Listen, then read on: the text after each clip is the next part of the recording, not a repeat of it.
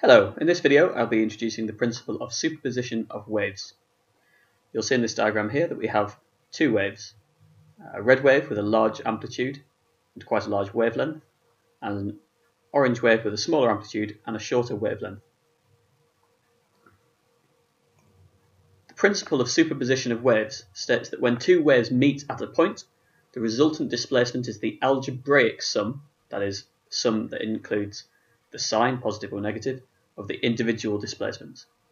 Let me demonstrate that with these waves.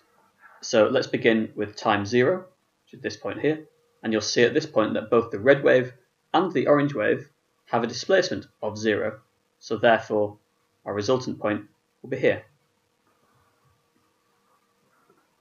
Let's move one second along and we'll see that the orange wave has a displacement of around 0.6 and the red wave has a slightly larger displacement around about 0.7.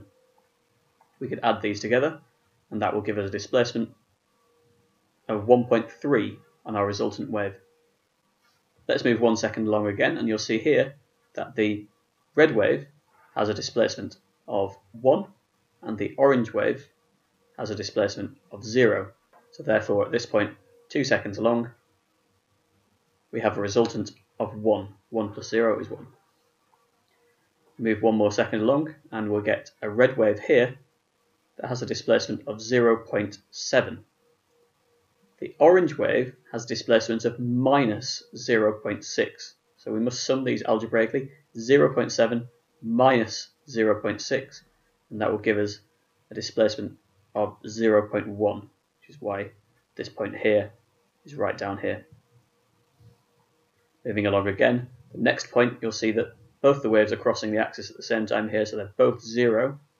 So therefore the resultant point here is also zero. And we can continue this same exercise all the way along the wave, and it will give us our resultant wave